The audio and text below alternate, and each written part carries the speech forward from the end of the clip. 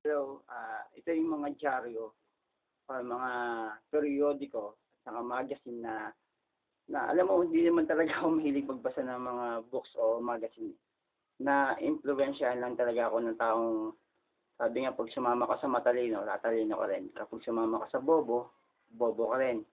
So, yun yung mga natutunan ko din. eh. So, di bale na madumi yung damit mo, ay kung ikaw na may isang mekaniko, ah yun, dati kasi, dream ko kasi maging isang mekaniko eh. Kasi yung lolo ko, yun, ah mekaniko siya. Ah, masasabi kong ano siya, mm, magaling. Kasi base din sa mga nakakilala sa kanya and naging kakilala ko din. Ah, yun lang and nakakakwento ako si Kuya Nanding. Then ito yung mga artista o mga model na na sinusubaybayan ko din buhay nila. Alam mo naman, chismoso din kahit paano. And ayun, ah isa sa pinaka-paborito ko talaga si Lobby po. Kasi alas tres na madaling araw, nagkaano na siya, nag-gym na siya. And ako, mahilig din ako sa, siyempre, yung mga magagandang mata, ah maganda ang katawan. So, ito siya. Ah, uh, nanonood ako ng Miss Philippines, Miss ah, International, Miss Earth. Ayun. So, yung mga politiko din na mga attorney na niidolo ko din, si attorney Larry Gadon. Yun, yan. So, ito yung mga collection ko na tinatago ko sa buhay ko na iniidolo ko din. Yan. Yan. So, yan, pakita ko sa inyo. So, ako, pag itong diaryong to, siyempre, na, matagal na, ah, siguro, kasi pag nanonood ka ng Miss Philippines, yan, Miss, ano, Miss Earth, Miss, ano, yung Miss Universe, may mga question answer doon na, na, na pag tuwing pinapanood ko siya, para bang dagdag kaalaman din yung mga question answer eh. Kasi hindi naman ako ganun kagaling sa question answer. Nung dati nga nagtrabaho nga, nag-apply nga ako ng trabaho sa Jollibee, tsaka sa McDo, hindi nga ako natanggap eh. Yan. And dito, nakakapanood ako ng, ng ano, question answer dahil sa mga ganyan. And na-adapt ko naman siya. Minsan nga, nilista ko pa nga yung t- mga tanong at sagot eh. Tapos minsan, kinukuha ko sa internet. So, kinukulods ko siya, tapos kinukoleksyon ko siya. Dahil alam ko, ako naman may talaga ako sa marathon. Kasi, ah yung pagmamarathon ko, mula nung nahiwalay ako sa asawa, siya na yung naging asawa ko din eh. Yung pagmamarathon. Kasi, the more na napagod na ako, di na mag-iisip ng, um, naalala ko pa yung throwback yun. So, pag pagod ka na, wala, tulog ka na lang. Yan. So, ito yung model. So, gusto ko din ma- magkaroon din ako ng ganyang photo. Tapos ganyan din, gagayahin ko yung ganyang style. Siyempre, ah nakita, nakita ko na to, itong photographer na yan. Yan, magaling to eh, magaling na photographer tong babaeng to. Si ma'am, ah Pilar Tuason yan eh.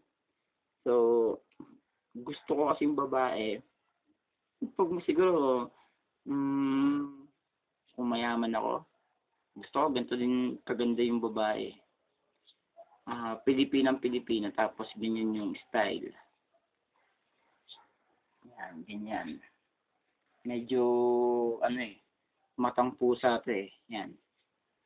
Pero ay, maaaring ano lang tayo, maaaring ah, edited na yung, ano, yung mata niya. Kasi blue, blue eyes eh. So, alam mo naman pag Adobe Photoshop, ewan ko lang ah.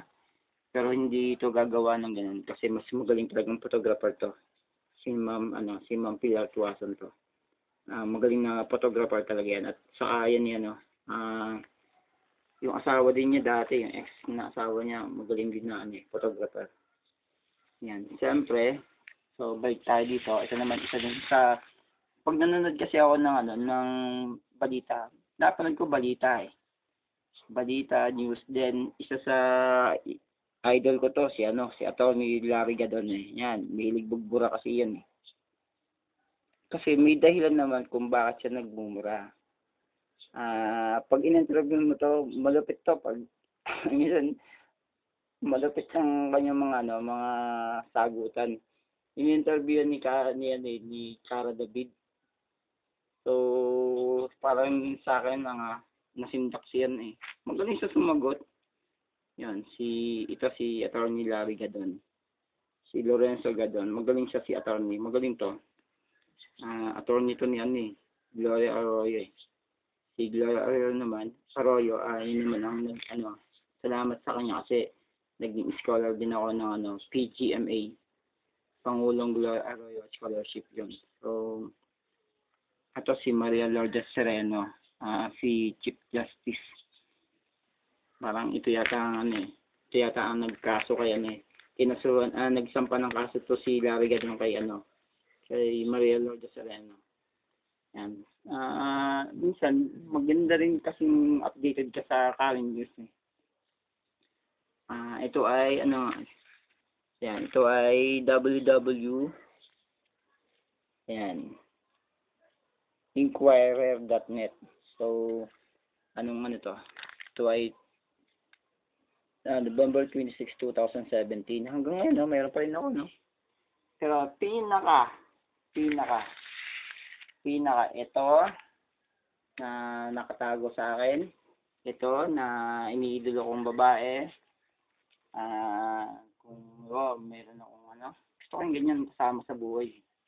Tapos ito yung gagawin ko. Manonood lang ako ng mga question answer. Tapos Discovery Channel, Cartoon Network, tapos HBO, o kaya yung Netflix.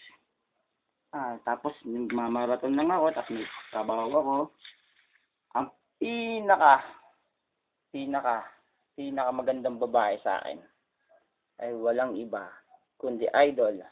Sasabi kong pinaka sexy, pinaka maliit ang baywang, pinaka ano, pinaka mahirap yung ginagawa niya sa buhay niya. Pero ano naman, ah proven na talagang siya pinaka sexy talaga. Yan, si Lobby po. So, ito ay big features na to. Yan. Talagang ano, talagang masasabon na ano, siya yung ano, siya yung iniidol, iniidol ko talaga. Yung pinaka magaling mag-project. Pag sa photography, ah, talagang ano, talagang, talagang yung mata, wala kang itatapon kahit sa pananamit. Magaling, magaling siya. Lalo na yung ano yung isang magazine na kasama niya yung elepante. Ah, lupit, malupit. Galing, ah, isa yung pinaka ano. Alas stress pala na madaling araw si Lobby po, nag-gym. Ano mo tayo, updated din tayo sa ano eh, sa konting news. Yan yun ang mga ginagawa ko and collection ko hanggang ngayon. Siyempre, yung ibang mga kasamang magazine nito, yung mga ibang pictures, yung ibang mga photo, hindi ko na sinama. Ah, pinunit ko na kasi hindi ko naman kailangan yung ibang mga model dun. eh. Kundi siya lang ang kailangan ko. Siyempre, ah, parang meron pa siya dito eh. Yan. Yan.